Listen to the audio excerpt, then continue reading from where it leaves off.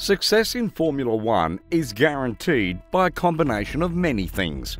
You need a good driver, an efficient car, and a brilliant technical team. But of course, all of these things requires a big budget. The more money a team has, the better the quality of drivers and backroom staff they'll attract, and the more upgrades they'll be able to execute. So you could as well say Formula One is a money sport. This is one of the reasons why it seems like a selected group of teams are dominating the sport.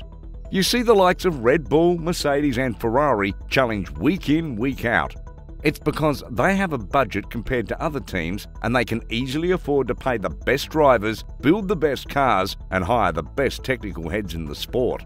For many years, the FIA has been looking for a way to reduce this advantage and increase competition amongst all the 20 teams on the grid and recently the F1 governing body introduced a budget cap.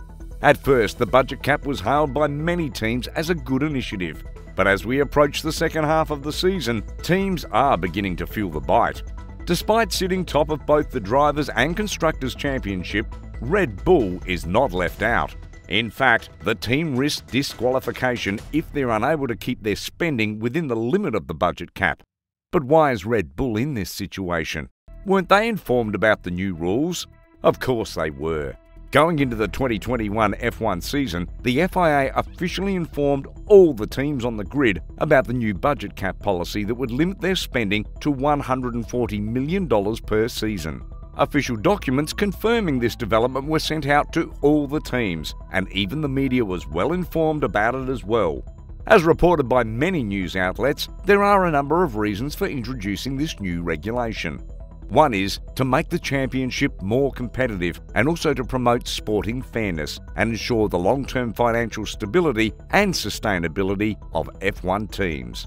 At the same time, the governing body believes that the budget cap initiative would also help preserve the unique technology and engineering challenges within the sport. But isn't that counterproductive? I mean, we all know that F1 cars are heavily backed by technology, and you need quite a lot of money to build and upgrade them regularly. So, on one hand, the FIA wants all the teams on the grid to compete on a level playing ground. On the other hand, they expect the teams to preserve and improve on the existing technology while cutting down their expenses to fit into the budget cap. That's a difficult task for the teams. To make matters worse, the FIA rolled out this new regulation in the same season where new cars were launched. Ordinarily, it should be a trial and error season where each team feels out their cars to see what adjustments they need to make. However, these adjustments don't come cheap, and with every upgrade that's being implemented, they risk exceeding their budget limit. This could spell all kinds of trouble for even the best teams on the grid, from points deduction to outright disqualification. Red Bull in particular has been one of the most active teams in terms of upgrades, and in fairness to them, the aggressive style of development has worked well. But they are also well aware of the consequences that could arise from adopting this strategy.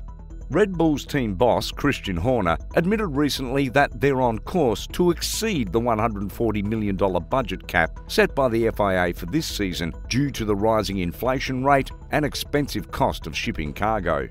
Horner made a passionate appeal to the FIA to employ a sensible approach to the situation and reconsider its stance. According to the Red Bull boss, the penalty system is not easily understandable, and he believes that one of the things that the FIA has to address immediately. You don't know where you are, and that there needs to be a common sense application because the situation might get worse. By suggesting that things might get worse, Horner wasn't in any way predicting that the teams would go broke. On the contrary, most of the teams in Formula One are in a strong financial position, and revenues seem to be growing every year.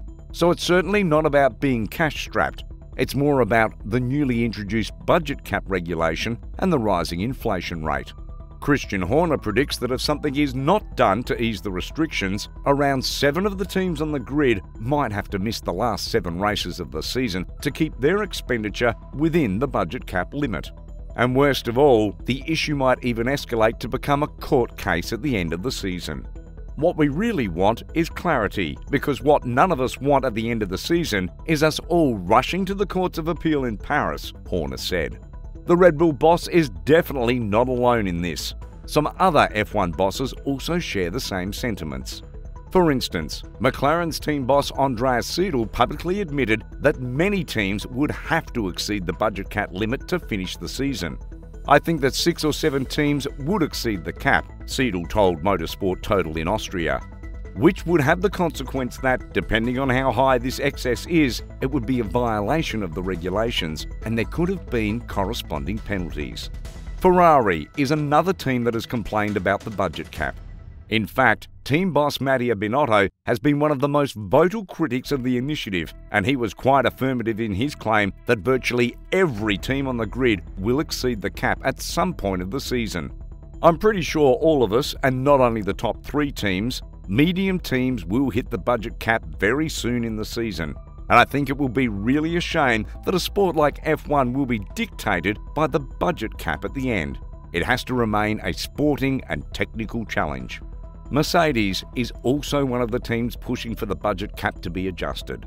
Highlighting the situation, Mercedes Director of Trackside Engineering Andrew Shovlin said, Early on, we had a plan to land on the budget cap and work within it, as everyone did. As costs like freight were coming in at being multiples of that, or energy and the effect of inflation that has gone from being looking at ways to peg it back to stay within to a point where the challenge becomes insurmountable. However, some critics like F1 legend Jacques Villeneuve has described the appeal made by teams for the FIA to increase the budget cap as nonsense. Jacques specifically attacked Red Bull and Christian Horner during an interview session with Formula One magazine, saying they have to fix up their car. But everyone has agreed and signed for it. And if flying costs more, it costs more for all teams. Then you only develop a little less.